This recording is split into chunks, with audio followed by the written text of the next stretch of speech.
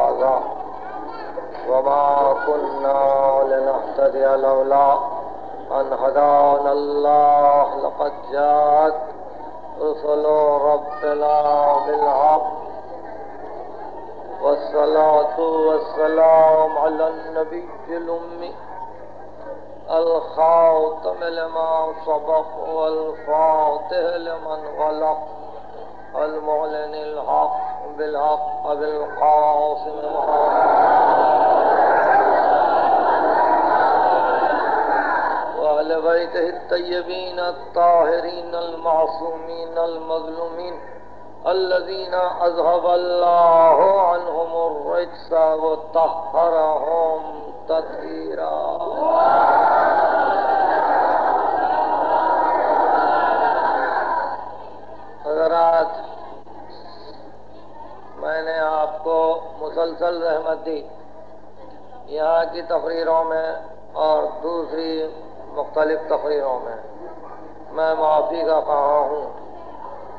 और फिर ऐसी हालत में जबकि मैं कोई खिदमत भी न कर सका। यकीनन मेरी मजबूरियों का इल्म मेरे मौला आका को है।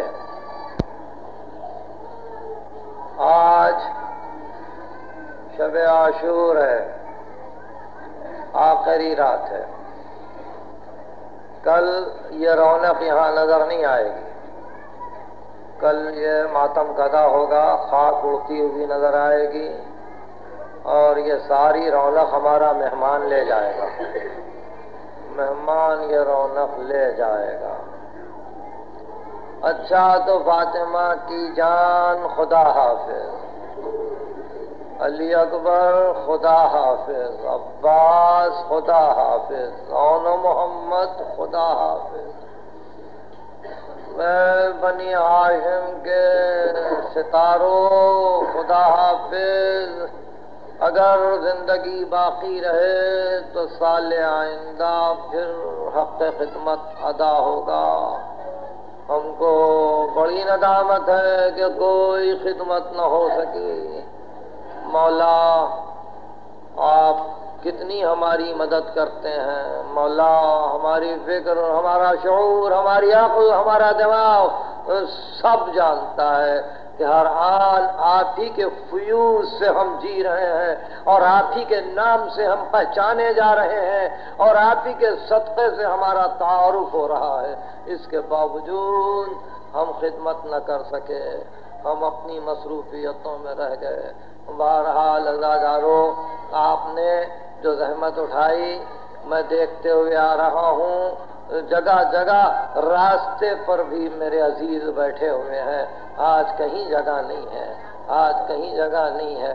सब मातमदार जहाँ जगह नज़र आई, बैठ रहे हैं। मैंने ऐसे आदमियों को भी मिट्टी पर बैठे हुए देखा कि जो मुश्किल से फर्श पर भी बैठते हैं, उनको इल्म है, उनको इल्म है कि कल जहरा का घर उजड़ेगा। कल अर्श नशी मिट्टी पर बैठेंगे, जले हुए खेमों में बैठेंगे। इसलिए सब अपना अपना हक अदा कर रहे हैं। गर्मी की शिद्दत है, मौसम खराब है, आपको तकलीफ़ हो रही है, मगर थोड़ी देर के लिए उस गर्मी का ख्याल कीजिए कि जहाँ आखिरी मौके पहुसैन कहते थे, मोहम्मद का नवासा हूँ और प्यासा हूँ, अली का बेटा हूँ और प्यासा हूँ रावी कहता है कि हुसैन इतने अली जब गुफ्तगु करते थे तो जबान की हरकत नहीं मालूम होती थी। मालूम होता था कि लकड़ी बज रही है, लकड़ी हरकत कर रही है। इतनी खुश्क हो गई थी आका की जबान। बहुत सूरत इतना कहा गया हो कि उस हुसैन इतने अली के और आसमान के दरमियान एक धुआँ सा नज़र आता था प्यास की शिद्दत से। वो धूप वो प्यास वो गर्मी वो अजीजों के दाग वो अकबर की लाश पर रोना, वो अब्बास का मातम, वो छह महीने के बच्चे की फुरकत, सारे दाग लिए हुसैन, एक मरतबा बहन से रुखसत होके चले। और जैसा कि अभी अर्ज़ कर रहा था, बहन खेमे के पर्दे पर खड़ी हुई है, भाई की जंग देख रही है कि मेरा भाई यूँ लड़ता है, यूँ लड़ता है। सुबह से जैनब ने देखा हुसैन लड़े नहीं थे।